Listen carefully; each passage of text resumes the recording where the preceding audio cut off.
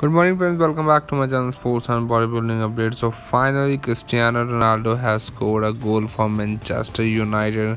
I must tell you that the match which is going on between Manchester United and Sheriff and Manchester United is currently leading with 2-0 in this match and Ronaldo fans must be very excited and delighted after the goal done by Cristiano Ronaldo. So finally Cristiano Ronaldo has scored goal for Manchester United.